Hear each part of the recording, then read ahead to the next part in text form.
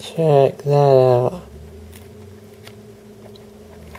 That's what about a billion little fleas looks like.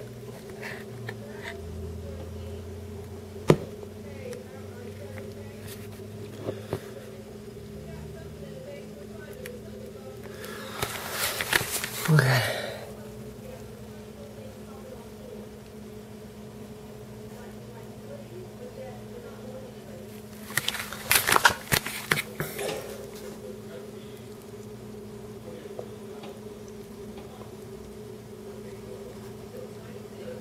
That is a real infestation.